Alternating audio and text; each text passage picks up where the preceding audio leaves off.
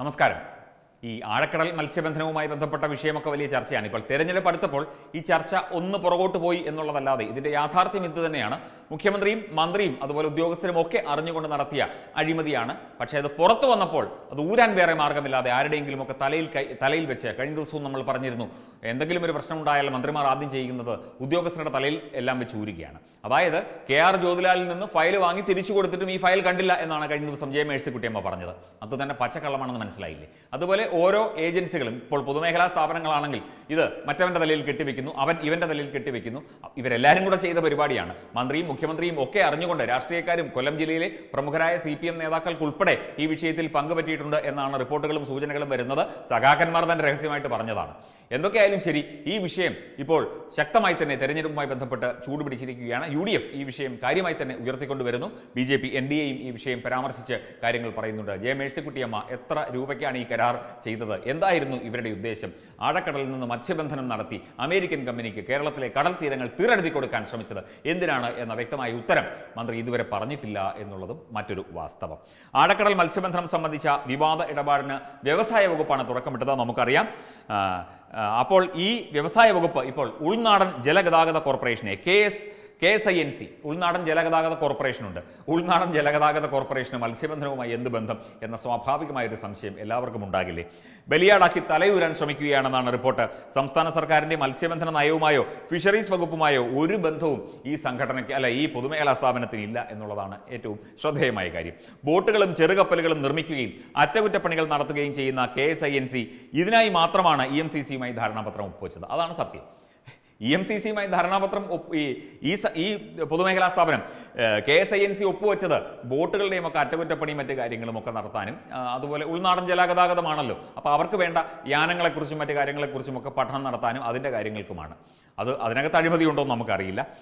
മത്സ്യബന്ധനത്തെക്കുറിച്ച് മത്സ്യബന്ധനവും മറ്റു കാര്യങ്ങളെക്കുറിച്ചൊന്നും അതിന് ആ കരാറിൽ അത്തരത്തിലുള്ള കരാറോ മറ്റു കാര്യങ്ങളോ ഒന്നും പറയുന്നില്ല. മാത്രമല്ല വകുപ്പുമായോ മത്സ്യബന്ധന വകുപ്പുമായോ ധാരണാപ്രകാരം നിർമ്മിക്കുന്ന ട്രോളറുകൾ ഇ എം സി സിക്ക് എവിടെ വേണമെങ്കിലും ഉപയോഗിക്കാം എന്നൊരു കരാർ മാത്രമാണ് അവർ സത്യം പറഞ്ഞാൽ വെച്ചത്. മത്സ്യബന്ധന നയവുമായോ ഫിഷറീസ് വകുപ്പുമായോ ഒരു ബന്ധവുമില്ല എന്നിരിക്കുകയാണ് ഇപ്പോൾ K S I N C ഈ വിവാദത്തിലേക്ക് വഴി വലിച്ചഴക്കപ്പെട്ടത് എന്നാണ് റിപ്പോർട്ടുകൾ സൂചിപ്പിക്കുന്നത്.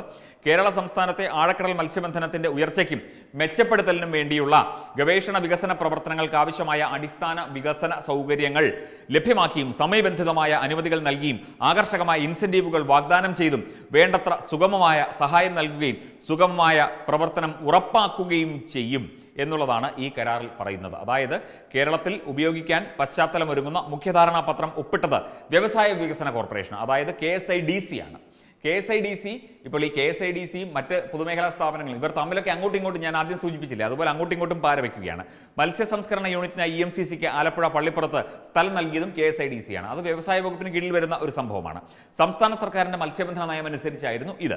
എന്നാൽ വിവാദ ഇടപാടിന്റെ ഉത്തരവാദിത്വം നിർമ്മാണ കമ്പനി മാത്രമായ കെ എസ് ഐ എൻ സിയിൽ കെട്ടിവെക്കാനാണ് ഇപ്പോഴത്തെ നീക്കം. അമേരിക്കൻ കമ്പനിയായ ഇ എം സി സിയുമായി ധാരണാപത്രത്തിൽ ഏർപ്പെട്ട ശേഷം ട്രോളർ നിർമ്മാണ കരാറിന് വ്യവസായ വകുപ്പാണ് കെ എസ് ഐ എൻ സിക്കും നിർദ്ദേശം നൽകിയത്.